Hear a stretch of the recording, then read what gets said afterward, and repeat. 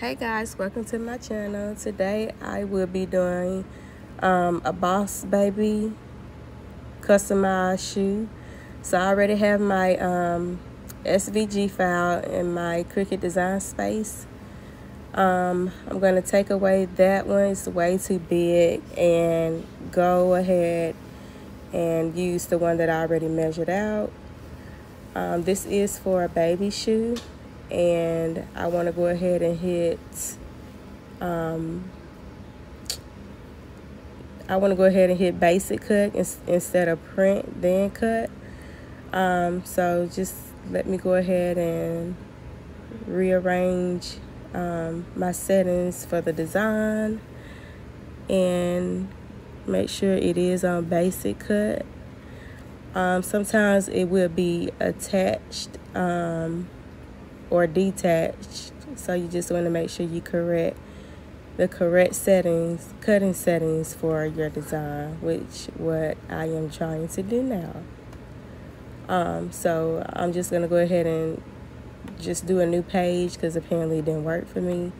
So I'm gonna go ahead and upload my design which is the boss baby. Click add to canvas and it popped up, but it's way too big for the shoe that I'm doing. Um, I'm gonna downsize it with the arrow, and I think it's a 1.6 um, measurement that I'm gonna get, do for my shoe. So you just adjust it to your needs as to how you want your design to fit on your um, project. So then I'm gonna go ahead and click uh, make it and it's sorting everything out into the mat and click continue.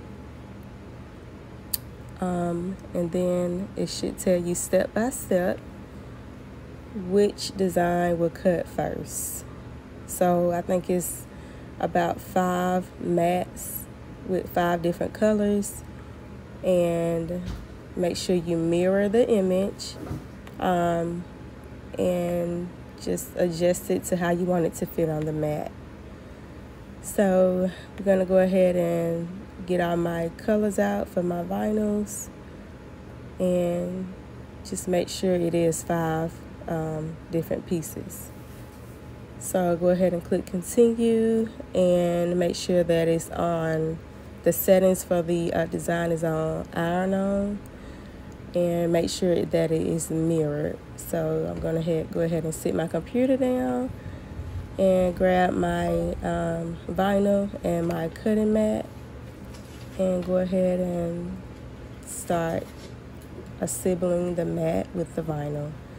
So that's a 12 by 12 mat and I'm gonna go ahead and get all my materials out and this is what I'm using, heat transfer vinyl sheets you got 48 colors and you can get it off Amazon for about maybe under $15.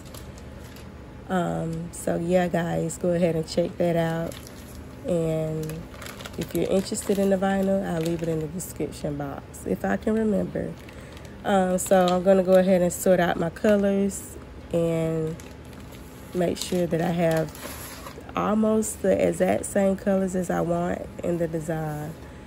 Um, some of the colors I just have to kind of guess the closest color to the design and make sure that you know it's a good match with the design. So I'm just gonna go ahead and sort through my colors and make sure I have the proper one. Okay, so now I'm gonna go ahead and add the name to the shoe, which is Haze. Um, that's the name of the baby. So I'm gonna just adjust the size of the name. I think I did it at a 1.5. Um, and once I get it to the right size that I want to be placed on the shoe, I'm going to go over here to the offset, um, the offset um, button. And the line for the offset button would be to adjust um, the background size that's going to go behind the name. So once you do that, um, you just go ahead and play around with it. You can change the colors on it. Um, you can resize it. It's just according to your preference on how you want it. Um, so once I got mine to the way I wanted it, I'm going to go ahead and make sure that I um, get ready to have it cut out onto the mat. So I'm going to go ahead and make that. Um, and we'll go ahead and speed it up and get ready to weed out the vinyl and make sure that everything is cut properly to get ready to put the vinyl on the shoe.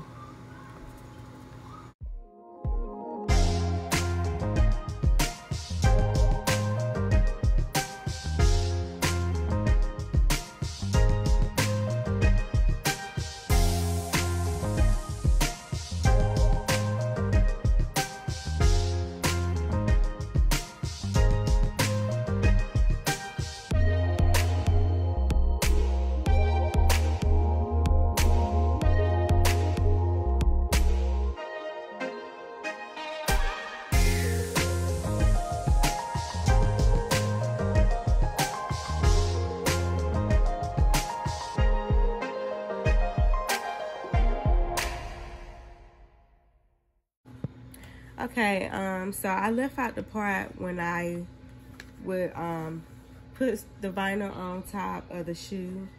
So these shoes came from Hobby Lobby. I think it was like $5.99. Um, so what you want to do is make sure you place your vinyl or your design um, right on the, the cloth of the shoe please guys please do not put it on that um, plastic the rubber not plastic but the little rubber. You got a white rubber line then you got a black and then the rest is kind of rubbery like the smooth. Don't put it on there because this iron that I'm using I got it from Amazon and it's a um, Steamfast iron. It's like it gets extremely hot and as you can see um, the white little scuffs that's on my iron, it actually came from a pair of shoes that I did on the vinyl on, but I did it too close to the rubber part. So please guys, make sure that it is not anywhere near this smooth rubber part because it will me melt that part and it'll get on your iron. Of course you can scrub it off, but I just was lazy and I didn't have time. So what you wanna do is take a towel or a small cloth and just insert it inside of your shoe. Wherever you want the design at and take your iron and just pretty much move it back and forth or you can let it sit.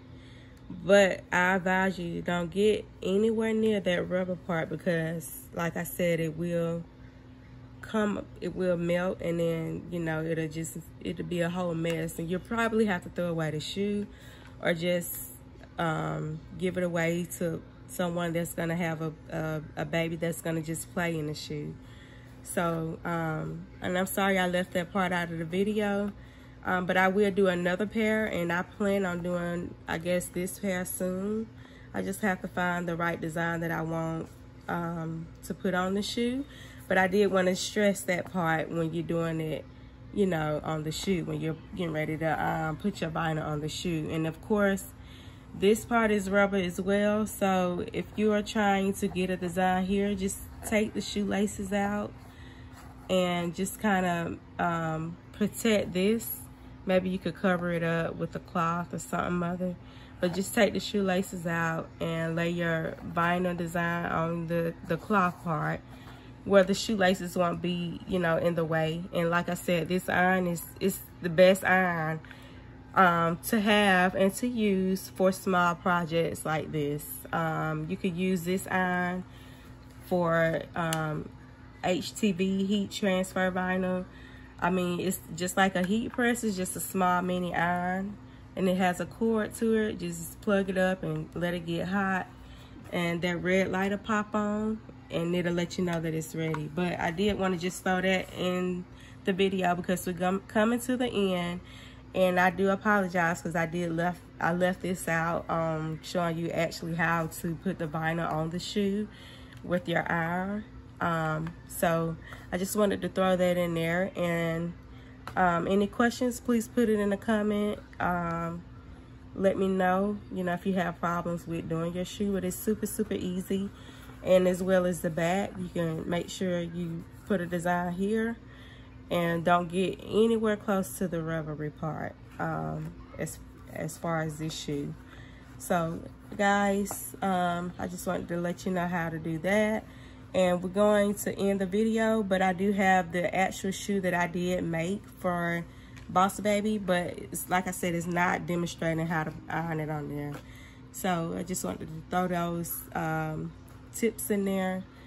And hopefully, you know, you'll give my video a thumbs up because I'm trying to grow my, my YouTube channel. And hopefully we'll see you all in the next video. But this is the end of this. And the shoes are coming up so you can see how they look. So see you guys in the next video